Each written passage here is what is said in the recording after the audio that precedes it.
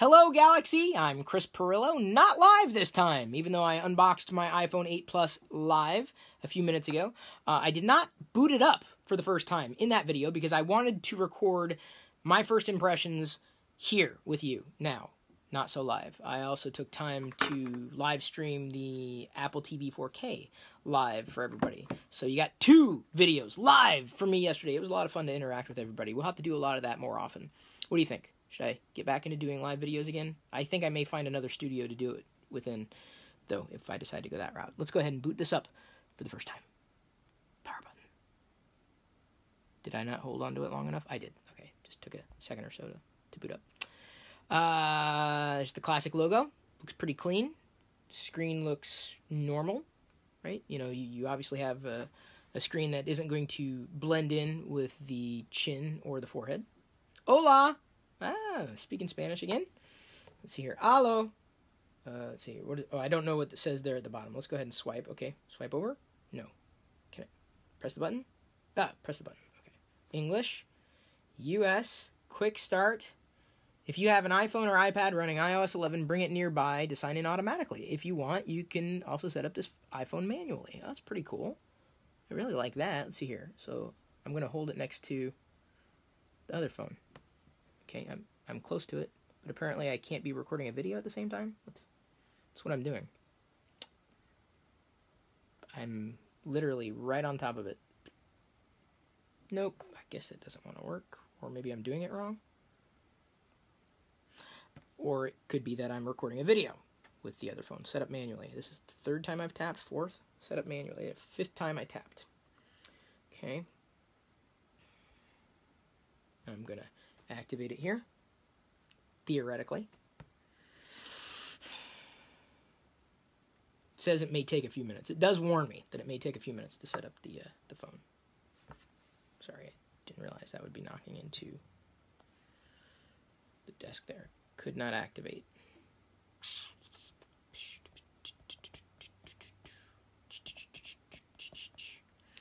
You know, I may need to do something else before I continue with the process. Yeah, could not activate phone because the activation server cannot be reached.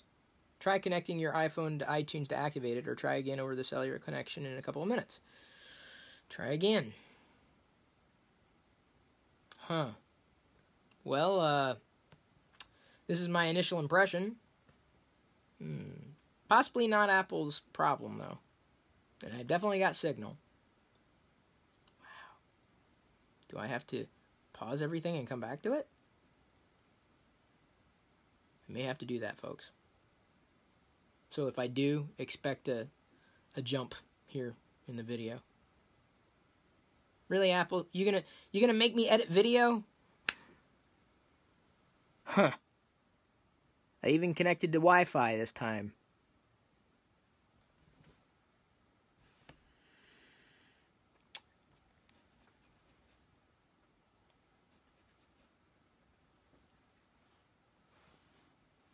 Isn't that what they do in the movies? They they hold their phone up to try to get signal. Is that, is that what I'm doing?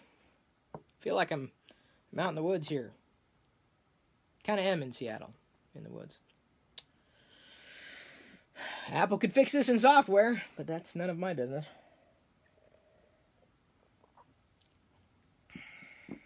Oh, yay! Finally, no. Huh. Maybe not. Okay, it says in the meantime, feel free to explore your iPhone's features in the App Store. Okay. I guess that's what I'm going to do. Touch ID. I will continue. Now, so far, and it, it may be that I haven't been paying too much attention to it, but uh, to this point, I have not seen any frame drop or skip necessarily. Adjust your grip. Okay, I'm gonna. I'm I'm setting up Touch ID. It is it is pretty simple pretty straightforward. Even though I am probably going to nuke this device uh, and, and reset it with everything, I'm just doing initial impressions. So let's see here. Skip all this, set up later.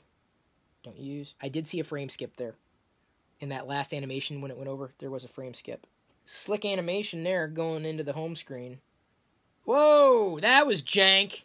Whoa. I just opened the home icon, right? You know, one of their default apps. Obviously, this is all default. You can't necessarily see it because I'm only able to record at 30 frames per second on the front facing camera. But if I was recording in 60 frames per second, you would have absolutely seen that jump, not only on the home, but also on books. Okay, let's just open up something simple like Wallet. Yep, it dropped a bit. Yeah, sure, why not? It did drop. Not on the exit, though. News. News was a little easier in the open. Preparing your news. I, that's kind of sad. That's the one thing I didn't want to see on an iPhone 8 Plus. I don't care about their benchmarks. I don't care if they say they're the fastest one on the planet dude. That you know, you know who did that? Apple before Steve Jobs came back to him. Not that he's ever coming back again. There's actually it's a video, and I will link it. I will link it in the description where he's basically talking to to a group of people saying we're not going to talk about how fast, we're not going to talk about this, that, and the other thing, specs, specs, specs. And he said that's not Apple. It's not gonna that's not gonna win anybody over. Okay, scrolling is smoother on the second scroll slightly. That's something that one would argue could be fixed in software, but if it was fixable in software, they would have fixed it. These are problems that we've seen, you know, pretty much from uh, iOS 7 beyond. They've yet to really uh, put fit and finish and uh, polish specifically on their animations. Um, for the most part, it's it's it's ooh smooth. And then I scrolled, over, swiped over, and it was like second swipe better, third swipe better, first one. it's that's iOS though. I mean, I don't. I'm not making it up. I, I know what I see. I've been seeing it for years. Oh man, iOS. See, this is the thing, and I'm not the first person to point. I, I just I want to throw this out there right now because I have to, especially at this moment.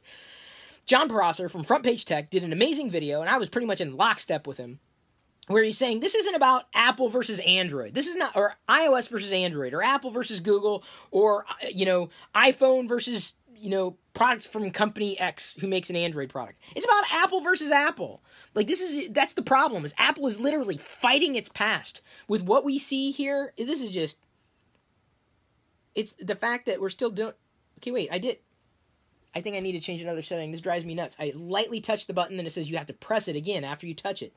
That's going to get annoying. Didn't really think the animation was very clean in swiping away from the lock screen there either. Pretty unoptimized. Swiping down seems fine right now.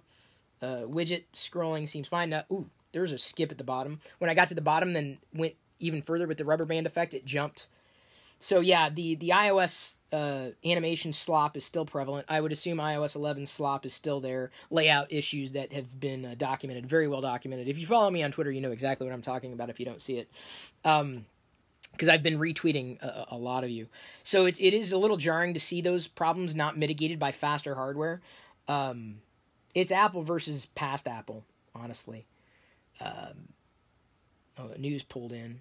Here's I don't know if I'm going to be able to get to it, but sometimes if I have a laundry list of widgets to edit, that was a smooth animation. It skips on scroll. It did not skip on scroll this time on an initial scroll down uh, in in widgets. This is where I've seen issues specifically with uh, um, uh, other iPhones. Pretty smooth scroll for the most part there which again is just indicative of how the software is not optimized, as in animations are not optimized, or the, the phone is just the software is throwing so much at the hardware, the allegedly fastest phone on the planet can't keep up. Or one of the fastest phones on the planet can't keep up. Which goes back to what I've been saying, specs are irrelevant. I don't care. I I'm telling you, and I, this is a video that I'm going to be doing at some point in the very near future. I was using my Nexus 6P, which hasn't seen a lot of heavy use, Android Oreo on the Nexus 6P in so many ways performs better on average than uh, in, in, in just regular app using, and even though I haven't taxed it necessarily, then I would say my iPhone 7 Plus. But instead of doing an Android Oreo versus iPhone or iOS 11 uh, with the iPhone 7 Plus, I was waiting until I got the iPhone 8 Plus. So that's going to be a software comparison I'm going to be doing, and I'm telling you, uh, for anybody who says Android has this problem, it's A, it's not as bad, and B, it's not as prevalent specifically on current flagship devices. Oh, okay. Um, yeah, it's kind of maddening and saddening all at the same time. Let's open up. Where's music? Music, music. Oh, in the bottom. Looking for your music? No. music you purchase. Oh, then I see the icons populated afterwards. That's weird. Why wouldn't they populate at the beginning? Like they pop they, they popped in after I loaded it. Weird. For you. Now this may take a while because of my connection, but I'm gonna see what it lo- it probably says you need to subscribe. delete. uh yeah, it's gonna. I think it's it's pushing me to a subscribe prompt. Again, I don't want to speak to the speed in relation to, to, to, the connection I'm using versus the speed of the device. Oh, this is really not intuitive screen waiting to see what's happening right now. Go ahead and exit out. Ooh, that was an awkward fade. That was definitely not a clean 60 frame per second animation in pulling up the menu. Second time I pulled up the uh, task screen menu, it was a lot smoother. So it was dropping, it was basically skipping jank. iOS, I'm telling you, uh, iOS has got jank. iOS has more jank than Android. I'm here to say it. They, I'm talking specifically about flagship devices today. Uh, I don't want to hear about Android devices being slower because they're not. Their software is optimized. In fact, I will go as far as to say this about iOS and Android. Given my initial experience, my initial impressions with iOS 11, specifically on the iPhone 8 Plus, fresh out of the box first boot, I believe that Android makes older, new versions of Android make older Android phones seemingly better and more responsive versus newer versions of iOS, which actually do more to harm older devices. iOS 11 on Diana's iPhone 6S has actually introduced speed issues that I'd never seen before on that device. Like it, problems, like outright just perform. Like the app apps actually pause, they launch, and then they pause before you can use them for like one or two seconds on an ample device. So, you know, I, I understand the way Android's been done. Updates don't always get to push to flagship devices. All the more reason why I'm I'm fascinated to see what's happening with with was fascinated with the Nexus, now fascinated with the Pixel. Um, but even newer Android devices don't have these same problems as iOS does. It's it's an it's a, it's a myth uh, that that Android performs less. Now, in terms of software updates, I can't argue with the OEMs um, in, in potentially other relationships in the industry. But the Pixel always gets it. Like the Pixel always gets updates, just like the Nexus always got updates. Uh, moreover, with Project Treble coming down the pike, a lot of those issues that you may have had as iOS user going to Android don't make performance one of them because that's not it updates is going to be a thing of the past if if the industry adopts Project Treble with Android Oreo moving forward. Wow, that's kind of sad. That that I saw the, kind of kind of a hickey hickey jicky, herky jerky. The, the animation just doesn't seem fluid. Animations and swiping, even after it's cached, it's fluid-ish, but it just doesn't seem to be. On ProMotion, this is a lot cleaner on iOS specifically. I can't compare it to any other platform. I only I can only compare apples to apples. I, I can only effectively compare it that way. And I know that's difficult when I say that Android's this and Android's that, but I think it's it's just something that I keep hearing as an excuse over and over again and it's it's it's it's wrong. People are absolutely incorrect. I think iOS shows its lack of software quality control with every passing revision, making older iPhones and iOS devices like iPads work less and less uh, as cleanly as they did early on. It has nothing to do with anything apart from software.